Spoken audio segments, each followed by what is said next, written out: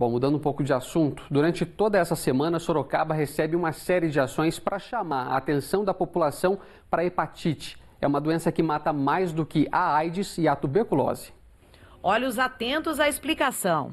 Esse pessoal veio até a sede da Associação de Moradores da Vila Amato, na zona industrial, para aprender um pouco mais sobre os tipos de hepatite, riscos, como fazer a prevenção e o tratamento da doença. Às vezes tem a doença, não sabe e fica, e estando sabendo pode procurar um tratamento, né? Um tratamento correto.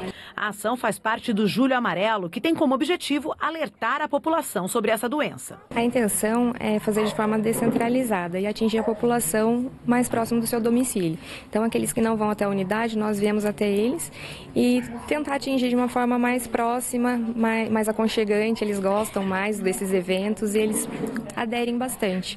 Depois da orientação, todo mundo realizou o teste. Para saber se a pessoa tem ou não a hepatite, é muito simples e rápido. Uma pequena amostra de sangue é colocada aqui neste teste. Depois de cerca de 30 minutos, aparece um traço e se vier um segundo traço, significa que ela tem a doença e precisa ser tratada. É só um furinho no dedo e pronto. Fiz porque não, não lembro se eu fiz alguma vez. Por isso que eu fiz agora. A hepatite é uma doença silenciosa e pode ser de três tipos. A A e B tem prevenção com vacina. A C, não.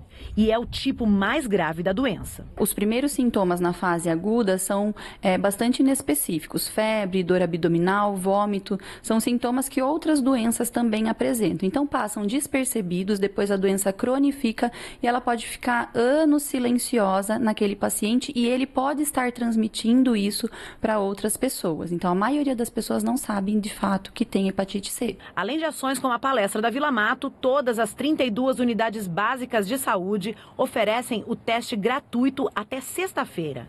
A intenção é fazer com que as pessoas que têm hepatite iniciem o tratamento o mais rápido possível. Dados do Ministério da Saúde revelam que 3 milhões de brasileiros estão contaminados pela hepatite C e não sabem. Ela é mais letal do que o HIV e do que a tuberculose, né? Dentre todas as hepatites, ela é a mais grave que tem é, e ela tem essa característica de ficar silenciosa, portanto é importante que pelo menos uma vez na vida, principalmente as pessoas com mais de 40 anos, façam o teste da hepatite C. O negócio é se prevenir como a dona Maria. Todo ano ela faz o teste. Se a pessoa não começa a se tratar de tudo, uma coisa puxa a outra, né?